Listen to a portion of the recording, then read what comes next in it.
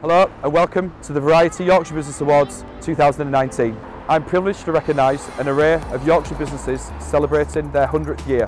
Bayford Group, Leeds United, Betty's and Taylors of Harrogate and Strata Homes have all stood the test of time. They've overcome many challenges but most importantly continue to operate under the key values upon which they were established. LNER support communities and economies up and down the East Coast Main Line which are helping businesses to grow and flourish and, and to build over time.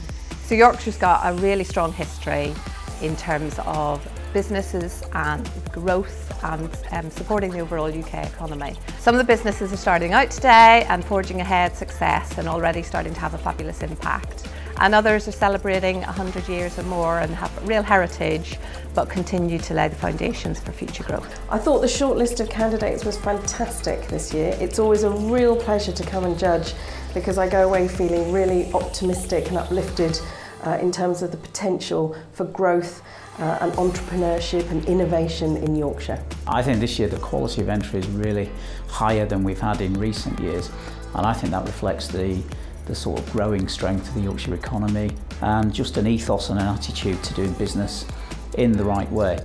So you had big stalwarts, you know, big Yorkshire names everyone would have heard of, with great exceptional boards doing great business this year, right down to startup companies almost with five, six, seven people, but already generating great revenues and profits. The great thing about Yorkshire, particularly Yorkshire businesses, is they're quite fearless and very brave, and the people are very brave, and they're not afraid to cross boundaries. Uh, the people of Yorkshire are willing to disrupt, uh, they're willing to knuckle down and, and really take on difficult challenges and that's why we've seen so many successful businesses shortlisted in this year's awards.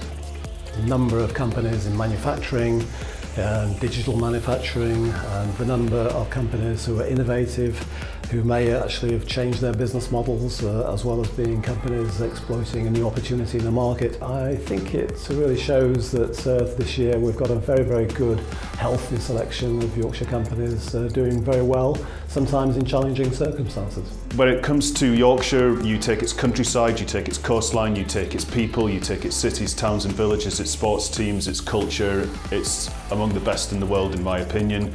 I think all of that feeds into a wonderful culture that is just the first class and a fantastic place to start to grow and you've also got a real sense of optimism, I think, in the region. You look at what's been talked about in terms of the entries this year.